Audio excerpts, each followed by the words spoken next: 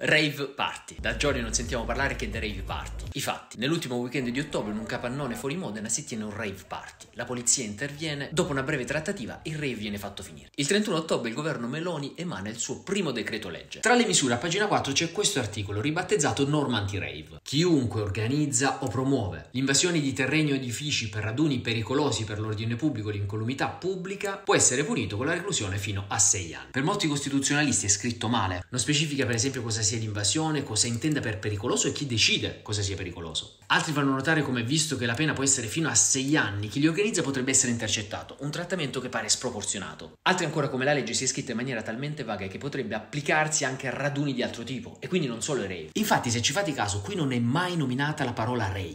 Ma lasciando stare per un attimo le critiche giuridiche e politiche, ci sono due particolari da notare. Primo, questa frase del ministro dell'interno Matteo Piantedosi. Davanti alle polemiche lui dice in ogni caso, la conversione dei decreti si fa in Parlamento, non sui social. Cosa significa? Quello di cui stiamo parlando è un decreto legge. Ricordate i decreti legge di Conte durante il lockdown? Ovvero un decreto scritto al volo dal governo per motivi di necessità e urgenza, in questo caso il rave party di Modena, che entra in vigore subito. Ma il decreto non resta lì così com'è per sempre. Entro 60 giorni, infatti, questo testo deve andare in Parlamento e da lì deve essere discusso e convertito in legge dal Parlamento con un dibattito democratico. E lì, in quei 60 giorni, quando il dibattito dibattito i titoli iniziano a scemare, il decreto può essere annacquato, sminuito, diluito, modificato, smussato. Infatti, secondo particolare, già 48 ore dopo la stessa maggioranza sta discutendo di come cambiare la legge in Parlamento. Gli stessi ministri stanno ragionando già di come abbassare le pene e di come riscrivere il decreto perché adesso è troppo generico. Questo genere di provvedimenti potremmo ribattezzargli leggi pop-up. Sono leggi o proposte fatte da politici di sinistra o di destra che esattamente come i pop-up eh, spuntano sul nostro browser mentre stiamo navigando, eh, spuntano appena c'è una polemica e servono spesso ai politici anche per posizionarsi sul tema del momento. Cosa succede? La curva dell'attenzione sale, si dibatte per 48 ore, si detta l'agenda su un proprio tema identitario e si comunica o si danno conferme al proprio corpo elettorale. E magari si glissa invece su temi più spinosi, come il decreto aiuti, l'inflazione al 10%, una manovra di bilancio per cui il governo ha veramente margini ristretti. Poi, quando la curva dell'attenzione scende, in Parlamento la norma viene ridimensionata e diventa anche mediaticamente meno attraente. Ecco, a volte gli annunci di queste leggi vi hanno considerate anche come i pop-up, ovvero anche un elemento che spunta per mettersi in mostra. Noi però non dimentichiamoci mai di guardare la pagina intera.